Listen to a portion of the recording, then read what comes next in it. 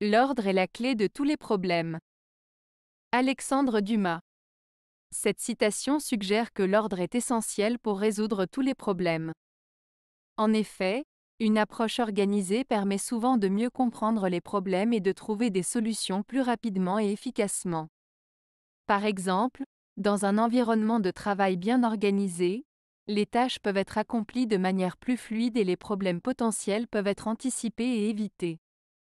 Cependant, il convient également de noter que l'ordre ne peut pas toujours résoudre tous les problèmes. Dans de nombreux cas, des compétences spécifiques, une créativité et une flexibilité sont également nécessaires pour trouver des solutions adéquates. En somme, cette citation met en avant l'importance de l'ordre dans la résolution des problèmes, mais elle doit être considérée dans un contexte plus large.